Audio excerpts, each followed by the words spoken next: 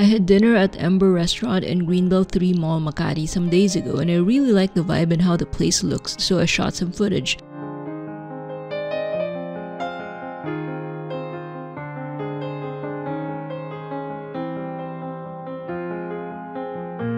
My two friends and I sat by the bar, which gave us a great view of their open kitchen.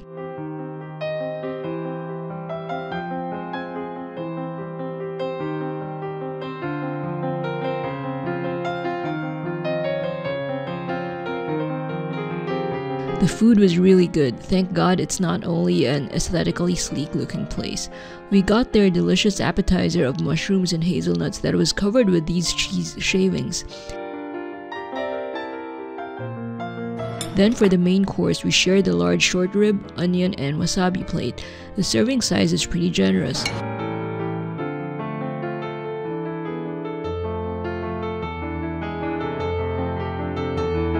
We also got a mashed potato for some carbs.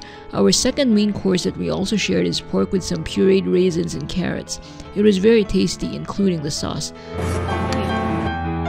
Lastly, I ordered the tres leches cake for dessert, yet another banger. Hope you enjoyed watching the short food vlog. Which dish stood out for you? Please comment below. Please thumb up this video if you enjoyed it and subscribe to be updated when I upload again. See you next video.